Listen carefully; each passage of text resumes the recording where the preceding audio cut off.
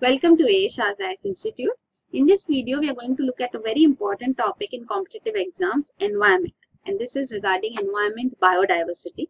So, in this video, we are going to discuss about Fimbristylis agastya malinensis.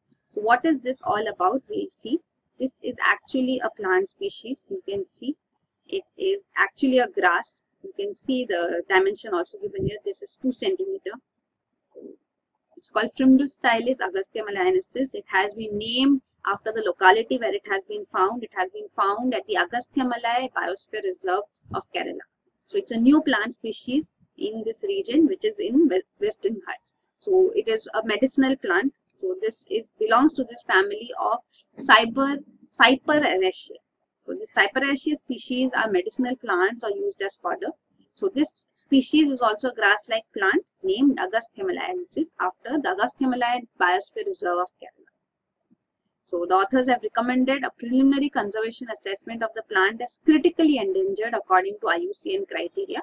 The species is highly prone to wild grazing and this habitat Agastya Malai region is also a tourism spot as well as you know within the perimeter of place of worship so that is why the plant is subject to anthropogenic pressures that could lead to its extinction in the absence of scientific conservation.